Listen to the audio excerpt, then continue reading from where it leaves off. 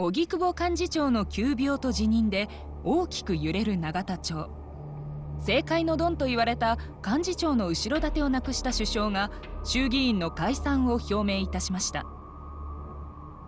解散総選挙により改めて民意を問うことで新たな内閣新たな民事党を打ち出していきたい。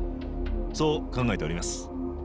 さらに荻窪幹事長の後任として東京都知事の青木良氏を任命したことも発表されました。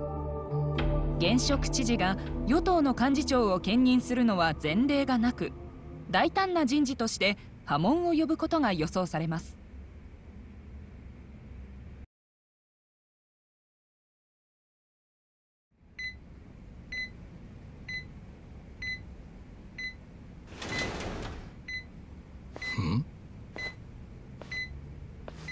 ご容体いかがですか？元幹事長。都知事ともあろう人間が字も読めないのか。面会謝絶だ。病院のルールを守れと。当たり前だ。病院の細かいルールをとやかく言う前にあなたはどうなんです？偽札作りは国のルールを根底から崩しかねない重罪ですよあの偽札が何人の命を救ったと思ってる？100や200では効かんのだぞ。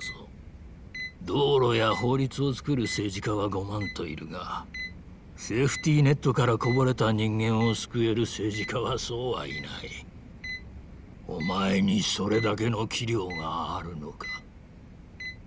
あなたとは使い道が違いますが器量は持ち合わせていますよ。だからこうして引き継ぎの挨拶に来たんです。分刻みのスケジュールを縫ってね。都知事が幹事長を兼任するなど聞いたこともない。あなた方老人にとってこの先起こることは全てが前代未聞の出来事になるでしょう。だが1年も経てばそれがこの国の日常となるそれが私が作り出す新たなこの国の政治です。青二歳が青二歳ね。覚えていますか？10年前私が初めて政界に進出した区議選のことを。民事党の推薦を希望する私をあんたは罵ったブリーチジャパンなど現実を知らない子供たちの学園祭だと言ってね。荻窪さんの選挙区は神奈川2区でしたね。次の総選挙ではブリーチジャパンからあそこに立候補者を立てます。もちろん民事党の公認候補として。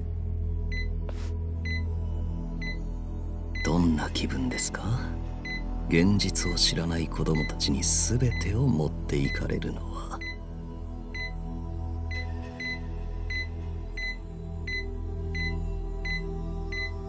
神奈川2区で我々の候補が当選するのは確実でしょう。まずは手始めに偉人町のゴミ掃除から始めなくてはね。あそこは不法投棄の温床ですから。彼らをゴミ呼ばわりするのか。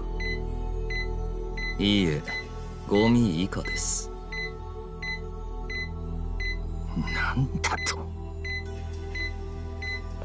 社会のセーフティーネットからこぼれた者たちと呼ぶべきですか？しかしそもそもそうなったのはグレーゾーンに甘え続けた彼らの責任では自己責任の果てに行く当てを失った人間などゴミ以下ですよ。どうなろうが私の知ったことではありません長話が過ぎましたか。元幹事長ぜひ長生きしてくださいよ。私は心からそう思っているんですから。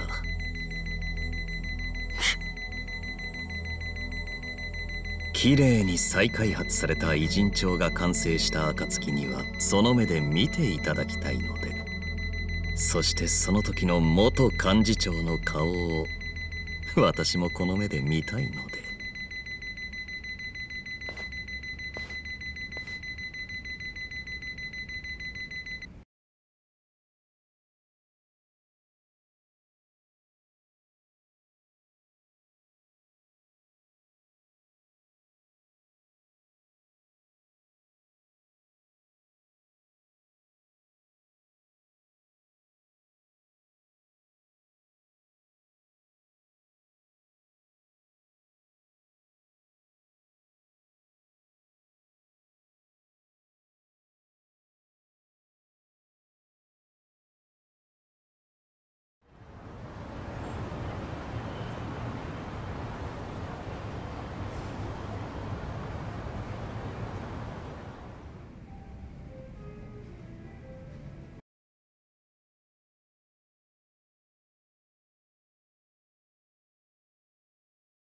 ここが春日君たちのアジト？なあ遠慮することはねえ。くつろいでくれ。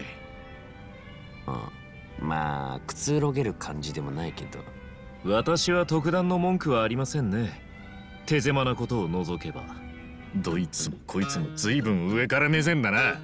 勝手に転がり込んできた分際で。勝手だなんて。ちゃんと南波さんの許可をいただきましたよ 半純義から止めてくれなんて頼まれたら俺の立場的にも断れねえだろ。まあコミジュルが燃えちゃったわけだしね。他の仲間はどうしてるの？現在監視システムの復旧に努めていますが完全復旧にはまだ時間がかかるでしょう。家が焼けた半純義はともかく蝶までここに引っ越してくることはねえだろう引退した俺がいつまでも景品飯店に住むわけにいかないでしょ示しがつかないからね。だから俺も家なしなのよ。だからって揃いも揃ってうちに来るか？人が集まる場所には情報も集まります。ここを有意義に活用していきましょう。情報か。その後ブリーチジャパンの方はあんだけ暴れまくったんだから警察も動いたんじゃねえのか？警察？春日君ニュース見てないの？そういやここんとこ見てねえな。コミジュルの一件でブリーチジャパンは偉人帳や日本中で株を上げたよ。はあ？テレビも新聞も報道はこう。警察さえ手出しできない不法占拠集団コミジュそこに危険を顧みず突入した勇気あるブリーチジャパンってね。そんなの。随分偏った言い方だな。それだけじゃありませんよ。ブリーチジャパンに抗ってコミジュルが火を放った。そしてその火災で代表の小笠原が死亡したと。小笠原が死んだ？どういうことだ？俺たちは火災の後に小笠原を拉致って尋問しただけだろ。そうよあいつ近江連合に助け出されてまんまと逃げたはずよ。ってことはまさか。そのまさかでしょうね。おそらく近江連合に殺されたのでしょう。正義のために殉死した革命の英雄に仕立て上げられてね。革命の英雄？なんだいそれ。小笠原は青木との関係をベラベラ喋った男始末しなきゃいけなかったわけでしょ？でもただ始末されたんじゃない。コミジュルが炎上した件で負傷して死んじまったことにすれば事件性も感じないから警察も病院も疑わない。しかもグレーゾーンの撤廃に立ち向かっている最中の悲劇的な死。って演出のおまけ付きってこと。くっそ敵ながらいちいち完璧な連中だぜ。どうしますか？今から警察に行って小笠原を拉致していたことを話してみますか？無駄だな。警察は馬淵の息がかかった連中だらけだ。そんなことしたらどうせ別容疑で捕まるだけだ。全てはあの青木って男の手のひらで踊らされているってことなのね。完璧に。若でも完璧って言ったってよ。ブリーチジャパンの連中がコミジルに乗り込んだのも不法侵入じゃねえかよ。うんそこは結果論ってやつかな。確かに不法侵入だけど今の世論の流れからそれを問題視する人はいないからね。警察も検挙しようがない。このままだとコミジュルもハンピン・リューマンも偉人町に居場所がなくなることは間違いありませんそして我々に味方しかくまってくださっているあなた方も同様でしょう。大変差し出がましいようですがもし皆さんに行く当てがあれば早々に相談された方がよろしいかと。いや俺はここに残って連絡を待たなきゃいけねえ。連絡？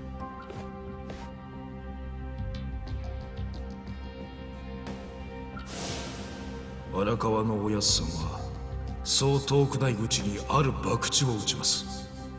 その時には一人でも多くの味方が必要になります。一人でも多くの味方って？これ以上はまだ話せません。すいません。ミツまた連絡させてもらいます。そうですかしかしその荒川真澄は春日さんを撃った張本人なのでは？おやっさんは殺すために撃ったんじゃなかったんだ。俺を生かすために撃ったんだよ。生かすために撃つとは？どういうこと？まあその話は長くなるから今度酒でも飲みながらやろう。とりあえず蝶も加わったことだしいろいろと準備をしようぜ。この先いつどうなるかわからねえだろ？金も道具も揃えといた方がいい。賛成。